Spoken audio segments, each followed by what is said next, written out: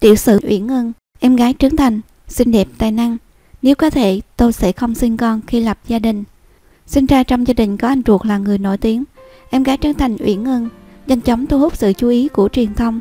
Thời gian qua, Yến Ân cũng đã chiếm được trái tim khán giả khi vào vai chính trong bộ phim Nhà bà nữ. Bên cạnh đó, những tin đồn, tình cảm xoay quanh cô cũng nhận được sự quan tâm đặc biệt. Tham gia dự án phim điện ảnh của anh trai, Hình Uyển Ân trở thành nữ diễn viên trẻ tiềm năng và được nhiều người mến mộ, song song với sự nghiệp ngày càng thăng hoa. Chuyện đời tư của em gái Trấn Thành cũng khiến không ít khán giả tò mò. Dù lúc thông tin nghi đã có tình yêu đang xôn xao khắp mạng xã hội, em gái Trấn Thành đã có động thái. Theo đó, nữ diễn viên thoải mái khoe ảnh bên Quỳnh Lý và Song Luân trên trang cá nhân. Đáng nói hơn, Yến Ân còn viết một câu gây bất ngờ khi chủ động khoe ảnh bạn trai tin đồn. Nữ diễn viên nhà bà nữ, vườn câu hát đang hot để chia sẻ. Anh tí, anh tèo, anh nào em cũng quý. Nếu như Quỳnh Lý đang vướng tin đồn hẹn hò Uyển Ân, thì Song Luân cũng là nhân vật được khán giả đẩy thuyền, nhiệt tình với nữ diễn viên. Có thể thấy Uyển Ân chỉ đang mập mờ nói về mối quan hệ đặc biệt giữa cô và bạn diễn chứ không lên tiếng cụ thể. Trước đó, em gái Trấn Thành cho biết cô là người theo quan điểm không giấu giếm, cũng không công khai bạn trai trước công chúng.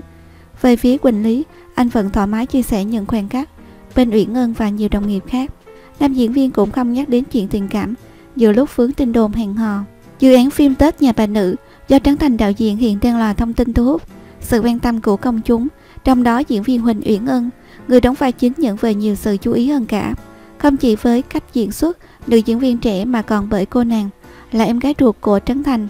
Huỳnh Uyển Ân sinh năm 1999, là học trò của danh hài Minh Nhí, nữ diễn viên mới gia nhập showbiz và cũng là em gái của MC Trấn Thành. Trước đó, cô nàng vốn không có định hướng đi theo nghệ thuật từ đầu. Dù mới tham gia diễn xuất, nhưng Huỳnh Uyển Ngân vẫn được đông đảo khán giả khen ngợi vì khả năng biến hóa chân thật. Một số dự án phim mà sa nữ từng tham gia phải kể đến như Nhà bà nữ, Bố già, Ô ba, Phiền quá nha, Gia đình mén. Mặc dù yêu thích và có năng khiếu nghệ thuật từ nhỏ, tuy nhiên Uyển Ngân vốn không có định hướng theo đuổi con đường nghệ thuật ngay từ đầu. Mãi đến khi lớn lên, cô nàng mới nói gót anh trai là MC Trấn Thành cùng chị dâu Harry One theo đuổi sự nghiệp. Bên cạnh giờ học tại Đại học Dermit, Yến Ân theo học tại sân khấu kịch của danh hài Minh Nhí. Yến Ân mặc dù là diễn viên mới, kinh nghiệm diễn xuất còn non kém, nhưng được nhận xét là có tinh thần yêu nghề, tích cực trao dồi để hoàn thiện khả năng của bản thân. Cô cũng là nữ diễn viên được kỳ vọng của làng phim Việt trong tương lai. Đôi duyên đến với Huỳnh Uyển Ân cũng nhanh chóng đưa cô đến với bước tiến mới trong sự nghiệp. Dự án phim đầu tay của nữ diễn viên trẻ là Oba Phiền Vá Nha, đóng cùng Henry Won. Trong bộ phim này, Yến Ân vào vai ca dao, em gái của Harry Won. Vai diễn tươi trẻ, vô tư đúng tuổi giúp cho Yến Ân phát huy khả năng diễn xuất của mình. Nhận được nhiều lời khen từ khán giả cũng như đồng nghiệp. Năm ngoái, nữ diễn viên trẻ cũng góp mặt trong phép drama Bố già của Trấn Thành. Trong bộ phim Tết chiếu rạp này, cô nàng vào vai con gái của ông Sáu do Trấn Thành thủ vai. Một lần nữa, Yến Ân khẳng định thực lực, thoát mát em gái Trấn Thành, góp phần cho sự thành công của bộ phim. Và mới đây nhất là dự án phim điện ảnh Nhà bà nữ chiếu dịp Tết Quý Mão 2023 đang làm mưa làm gió tại các rạp chiếu phim trên cả nước. Lần này Uyển Ân tiếp tục được Trấn Thành ưu ái giao cho vai nữ chính, hóa thân thành Ngọc Nhi, một cô gái trẻ sống trong luật lệ hà khắc của mẹ mình. Trong bộ phim này, nữ diễn viên có nhiều cảnh diễn xuất chứng minh thực lực, khiến cho khán giả xem phim cũng phải trùng mình xót xa. Chia sẻ với báo chí, Uyển Ân cho biết khá bất ngờ khi anh trai tin tưởng giao vai nữ chính cho mình. Tuy nhiên nữ diễn viên cho biết cô nghĩ rằng bản thân cũng cần nắm bắt cơ hội để tỏ sáng nên rất vui vẻ đón nhận. Có thể thấy ở thời điểm này, Yến Ưng đã có được bước đệm rất lớn sau thành công. Từ vai chính đầu tay, hầu hết công chúng khi xem phim đều công nhận khả năng diễn xuất và hóa thân thành nhân vật chân thực của cô nàng. Không chỉ là diễn viên trẻ thực lực, Yến Ưng còn gây thương nhớ bởi chiều cao nổi bật, nhan sắc xinh đẹp, rất ăn ảnh. Hình ảnh mà Yến Ưng mang đến luôn tràn đầy năng lượng, tươi trẻ dễ thương, nụ cười tươi sáng ngọt ngào cũng rất thu hút người đối diện. Ngoài đời, em gái Trấn Thành được nhận xét là người năng động, nhanh nhẹn, ham học hỏi và rất thân thiện. Nữ diễn viên cũng sở hữu kênh youtube riêng, chuyên chia sẻ về các tiếp làm đẹp, trải nghiệm cuộc sống. Trang cá nhân của Yến Ngân cũng nhận được sự quan tâm lớn từ người hâm mộ. Cô nàng thường xuyên đăng tải hình ảnh của bản thân, truyền tải năng lượng tích cực đến đông đảo fan hâm mộ. Trấn Thành là anh trai của tôi, điều này là sự thật, không thể nào thay đổi. Vai diễn Ngọc Nhi trong nhà bà nữ đã đến với Uyển Ân như thế nào? Khi nghĩ ra kịch bản phim Nhà bà nữ, anh Thành đã quyết định giao vai này cho tôi. Chắc là tôi hợp vai. Thêm nữa anh Thành biết lực diễn của em gái thế nào. Hồi trước tôi từng đóng phim Tết, đôi mắt âm dương, nhưng chỉ với vai nhỏ thôi, còn lần này làm vai trung tâm thì cũng hơi áp lực. Áp lực này do chính tôi tạo ra.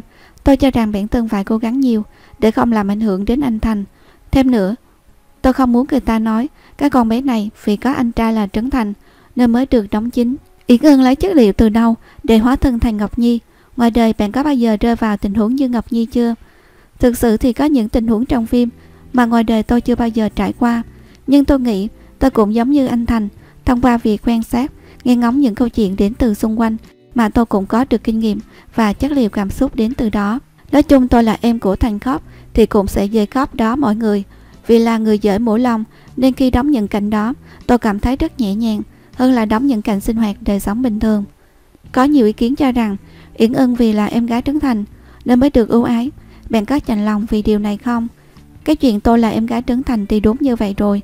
Đây là sự thật mà, không thể nào thay đổi cả. Tôi tự hào khi là em của anh Thành lắm. Anh Thành giỏi quá mà. Ở nhà tôi, anh Thành là niềm tự hào của ba mẹ. Ba mẹ tôi thương anh nhất, nhưng anh thì chiều tôi nhất. Kiểu như tôi là con gái út nên được anh thương hơn. Mọi người biết đến, với danh xưng em gái Trấn Thành, điều này cũng đúng luôn. Hồi trước anh Thành cũng có nói là đừng buồn vì chuyện này. Do hiện tại tôi chưa có vai diễn nào tạo được dấu ấn trong lòng khán giả. Điều lớn nhất mọi người chú ý đến tôi là do quan hệ anh em với anh Thành. Chị hay Quan bây giờ nổi tiếng, nhưng vẫn được gọi là vợ Trấn Thành đấy thôi. Có người anh nổi tiếng, làm gì cũng giỏi vì được công nhận như anh Thành, thì tôi không buồn phiền gì hết. Ngược lại tôi thần tượng, yêu thương và tự hào về anh mình thì đúng hơn. Trấn Thành thương em gái nhất nhà, nhưng ra đến phim trường thì có còn thương yêu như thế không? Chẳng hạn ít lo đầy em hơn diễn viên khác. Đâu có đâu, anh tôi lúc ở nhà và lúc ở phim trường giống như hai người khác nhau. Khi bắt tay vào việc thì không thể nhận ra anh Thành được nữa. Dữ lắm mọi người ơi, lại còn cầu toàn và khó tính nữa. Chuyện quay đi quay lại một cảnh quay cho đến lúc anh Thành hài lòng là điều diễn ra hết sức thường xuyên. Giảm 12kg để đóng phim cho đẹp, anh Thành từng ra mặt bố mẹ thì than trời. Bây giờ gặp Yển Ưng tôi thấy bạn xinh đẹp, tự tin và thon thả hơn rất nhiều. Nghe bảo đợt trước Yển Ưng giảm đến 12kg. Bạn làm điều này như thế nào? Tôi cao 1m66, hồi trước mập lắm, người to, mặt thì tròn, lên phim toàn là góc chết. Anh Thành cứ hay than phiền rằng, trời ơi mày mập như vậy, sao mà làm diễn viên được? Diễn viên phải thon thả, gầy gò, thì đóng phim mới đắt xô. Còn ba mẹ tôi thì toàn bảo, con ơi là con, con chỉ hơi tròn một xíu thôi, đang tuổi ăn tuổi lớn, thì cứ ăn nhiều vào, đừng có giảm cân lỡ bệnh thì ba mẹ xót. Ở nhà tôi là thế đó, anh Thành ra sức khuyên tôi giảm cân, còn bố mẹ thì chiều ngược lại, cổ vũ con gái ăn thật nhiều để có sức làm việc. Nhưng cứ mập hoài thì đâu có được. Có lần nọ tôi đóng một vai nhỏ trong phim do anh Vũ Ngọc Đảng làm đạo diễn. Tôi mập đến mức mà mặc áo dài đóng vai cô giáo lên phim, nhìn kỳ vô cùng. Dù sau đó, vì một số lý do mà anh Đảng không cho tôi mặc áo dài nữa. Nhưng tôi xấu hổ lắm. Tôi cảm thấy nếu mình không giảm cân thì không thể nào có cơ hội phát triển sự nghiệp. Vậy là từ đó tôi đi tập gym và bước vào chế độ dinh dưỡng hợp lý hơn. Đến bây giờ tôi vẫn chưa tốt nghiệp đại học. Vì sau, Yến Ưng thi vào trường đại học sân khấu điện ảnh thành phố Hồ Chí Minh, nhưng không học, rồi sau đó vẫn quay lại làm diễn viên. Tôi thi đậu trường đại học sân khấu điện ảnh thành phố Hồ Chí Minh, nhưng vì cha mẹ và một vài lý do cá nhân nên tôi không theo học. Đến bây giờ tôi vẫn chưa tốt nghiệp đại học vì tôi đổi ngành học nhiều lần. Ban đầu tôi học ngành marketing nhưng cảm thấy không hợp nên tôi học diễn xuất với thầy Minh Nhí.